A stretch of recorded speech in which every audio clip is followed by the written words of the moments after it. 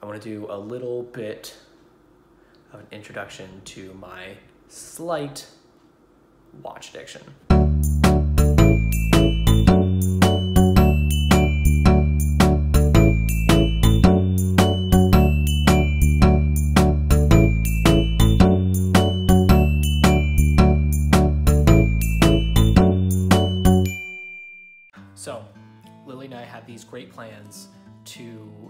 Try my steaming basket and get some pork buns from the Asian supermarket. And it was gonna be delicious and so good, and then we both realized we had a lot of stuff to do tonight.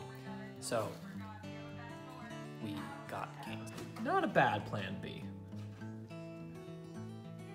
And I'm editing videos for my adoption series, so check them out, because by the time you watch them, they'll all be posted. OMG, what is your channel called? Lilly Schmaltz. And what do you talk about? Adoption. We'll link it down below and we'll put the name right here. Check it out. It's really interesting stuff. So Lilly and I make popcorn fairly often and we pretty much got it down and I'm realizing that we talked about Flavacol which is delicious and that's how you know movie theater popcorn tastes like movie theater popcorn but we never talked about how we actually make the popcorn itself which I never thought about until Lilly told me that that's how she made it. But it's so much better and easier, easier in a sense, and cheaper than buying just the microwave bags. So I'm gonna show you guys how we do that today. Could not be easier, get you know a decent sized pan, set it to past medium heat. So on like a scale of one to 10, maybe like a six. Then pour in a few popcorn kernels. We just have you know, grocery stores will have these big containers of loose kernels with some oil of some kind. We always use canola oil or vegetable oil. And once you see them starting to pop, go ahead and add in more kernels, enough to cover maybe three quarters of the bottom in a single layer.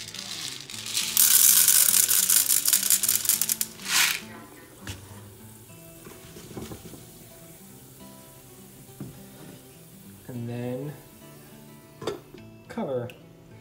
If your pots have a little steam vent like that, you can totally cover it all the way, or leave a little gap, either or. And then it's pretty much just a process of gently moving it until it all pops. If you have your heat where I have it, should only take maybe five minutes to get as much popping as you're going to. And ideally, this is your end result. And I say that partially as a joke because I forgot to film the finished popcorn. So I'm gonna say that ideally, that's the finished result because it was so good that you can't film it before it's eaten. But give that method of making popcorn try if you haven't already. It's easy and cheap, and you have so much control over it. You get so much more popcorn and it tastes great. So I got back from work a while ago actually, but then I had to go back because it was like a parent night kind of thing. But I got something very super exciting in the mail. The last bit of literally my big Amazon order. So I'm gonna do an unboxing of that.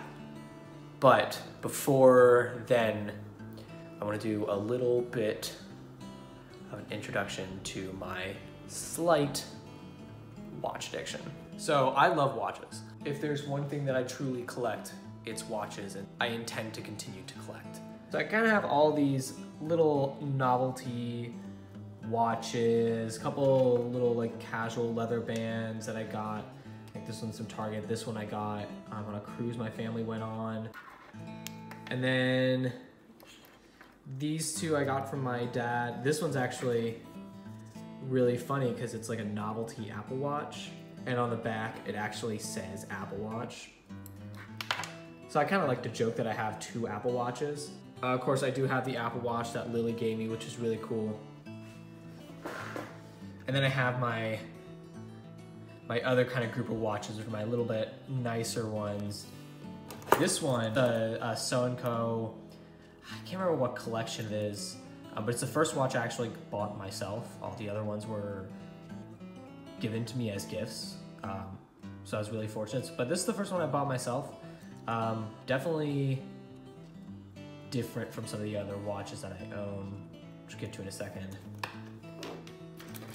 This one, uh, Seiko 5, this one is particularly special. This is the first watch I ever got. This is solid. I mean, this is shows no wear whatsoever, and I've had this one for a few years now. My dad, he wears a lot of Seikos too, and he had an old one. So this cool gold one, super thin and light.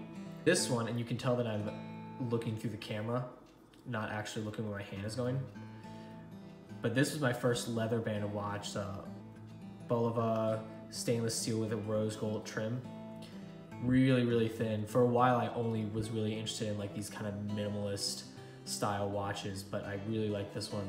And my second leather banded watch, uh, Lilly actually gave this one to me, and she really just like hit the nail on the head with what I wanted. Um, I really wanted a black leather band, um, and I really loved this blue watch face. Has a couple different miniature dials too. I honestly don't know. I always forget what they all do. This cool bike thing I found, and without further ado, what I got today, and the second watch I bought myself. I got it at Seiko, and I'm super, super excited about it.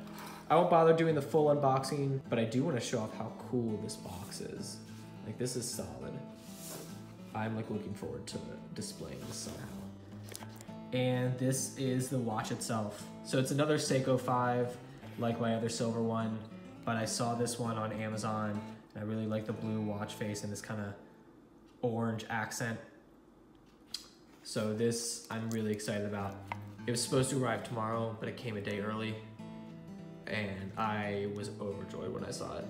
It never hurts to own a nice looking watch or two.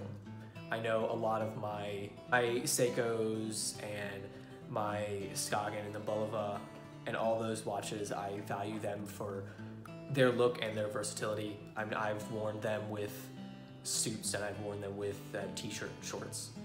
Um, they're really comfortable and they're really cool and it can be a it can be a great little thing to have. So watches are nice. So I am just editing my latest video because I took a DNA test and my results are back. So if you're interested in watching that, we will link it below. Crossing my fingers, we can still get a good turkey.